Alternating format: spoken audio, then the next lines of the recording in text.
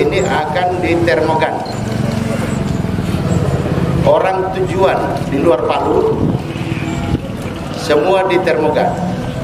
Hasil termogan yang pertama orang tujuan luar Palu suhu badannya tinggi maka diantar sampai ke perbatasan yang suhu badannya normal dilepas dia pergi. Untuk warga yang masuk ke Palu tujuan Palu semua ditermogan dan harus masuk di pemeriksaan kesehatan. Jadi tidak ada yang lolos. Tidak ada yang lolos. Masyarakat atau tujuan eh, penumpang tujuan Palu tidak ada yang lolos.